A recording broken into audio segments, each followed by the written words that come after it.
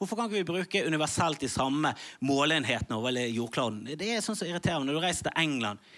Bare på veien over der så begynner piloten å snakke i fot. Og nå er vi oppe i 30 000 fot. Det er for mange føtter! Hva er det for å snakke om? Det er et massemord av føtter! Kan ikke du bare si meter? Det er mye bedre måleenhet. Et veldig ordnet system. Engelskmennene bruker det der gamle systemet. Føtter og alt mulig drit. Albuer og tomler. Alt det der møkkagreiene. De veier ting i steiner i 2014. Det må vi slutte med, England. Han veier så og så mye steiner og litt grus. Nei, hva faen er det du snakker om? Slutt! På en måte jeg får godt av én pound på nok til at det eksploderer inni hodet mitt. Én pound, én LB. Prøv å finne én av de bokstavene i ordet pound. da. Det fins ingen av de i det ordet pound! Du må vrenge L og snu om på denne B-en. Det er kaos. LB, hva faen er det du holder på med, England? Nå kan ikke vi bare bruke det samme? da? Det er jo så mye enklere. Alle sammen bruker eh, Richters når du kommer til jordskjelv. Det er ingen land som ikke bruker Richters. Du kommer ikke det til Belgia de er sånn Nei, nei, nei, vi måler jordskjelv i vafler. Alle bruker fuckings Richters. Kan ikke vi bare bruke de samme systemene? Hvorfor må USA tviholde på Fahrenheit? Alltid Fahrenheit når de måler temperatur. Det er bare de og to andre land og de er sånn karibiske øyland som ikke trenger temperatursystem.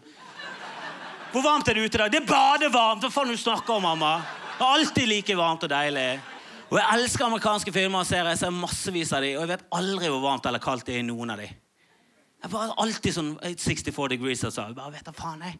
Han går med jakke, han går med T-skjorte. Der kommer jeg med stylter. Vet du faen hva som skjer i denne filmen her?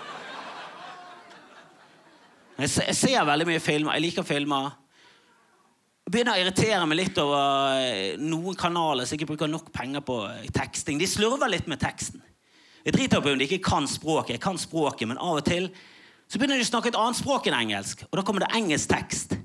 Og så legger de den norske teksten oppå den engelske teksten. Så det blir bare tekst på tekst. Du ser ingenting.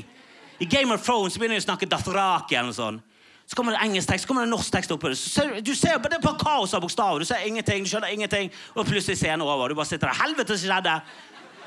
Jeg kan ikke Dathraki. Bargufa kalese, Kalesima. Hva faen? Hva var det Kalesi sa? Var det noe med drager? Var det et med drager?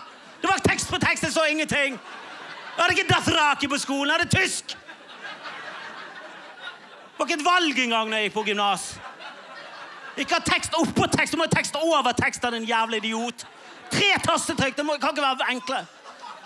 Og når de røper ting i teksten, forbannede møkkafolk som røper ting i teksten. Kan ikke du ha prikk, prikk, prikk? I advokatserien er det jævlig viktig om folk blir skyldige eller ikke skyldige. Det er hele episodene. 45 minutter, det er kun det du bruker. Kommer du på slutten og bare We find the venn skyldig.